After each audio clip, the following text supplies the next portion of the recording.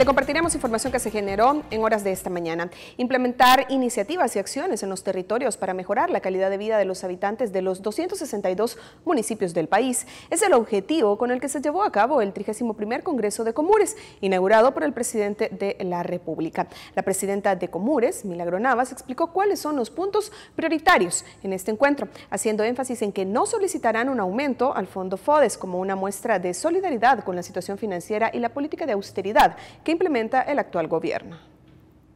Señores alcaldes y alcaldesas, vengo a este Congreso con el deseo ferviente de estrechar la relación entre el gobierno nacional y las municipalidades. Comparto con ustedes el sentir que hoy más que nunca debemos fortalecer ese vínculo y seguir, seguir construyendo acuerdos para atender las prioridades de nuestra gente Ordenamiento territorial, está em, la descentralización, eh, medio ambiente, está obras públicas, o sea, son todos los temas que tienen que ver, pero el tema primordial para nosotros es una verdadera, una verdadera descentralización, pero con responsabilidad, donde los alcaldes podamos trabajar en conjunto con el gobierno central.